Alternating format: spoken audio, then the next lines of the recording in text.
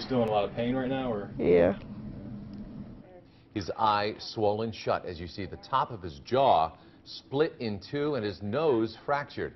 This teen's face tells the story. The worst part, he says he has no idea who did it to him. And that is where he needs your help because his biggest fear is that his attacker is going to get away. There is a search out there tonight. It's just ridiculous that a grown man would do that to a child. Make that more of a hunt, You have to reset his jaw. His upper jaw is broken. and it is not going to be pretty. His nose is broken. His eye socket, eye socket is broken. To find the man who did this to a little boy. I have broke my uh, eye, two bones of my eye, the top of my jaw, like the roof of my mouth. It's cracked in half, and I broke my nose. 13-year-old Dylan Aquaro didn't think anything of the two men on racing bikes riding up Route 168 in New Castle in Hickory Township, Lawrence County, until it hit him. There's absolutely no reason to do this to a child.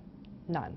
The lead rider on this road punched Dylan in the face and knocked him out cold, putting a little boy in the hospital and breaking his mother's heart.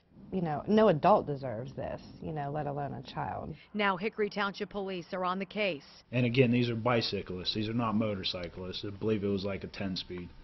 Uh, and we're we're trying to obtain usable uh, footage of that to put out for the public's assistance in identifying these two people. And with surgery tomorrow to wire his jaw shut, Dylan's mom knows one thing for sure. You know, you don't punch a child in the face. Just makes you so mad. Hickory Township Police are looking for two bicyclists. They're both white men in their 30s with facial hair. One was wearing a yellow bike helmet and a yellow shirt, the other wearing a blue helmet and blue shirt. If you know anything about this, please pick up the phone, call Hickory Township Police at the number there at the bottom of your screen. More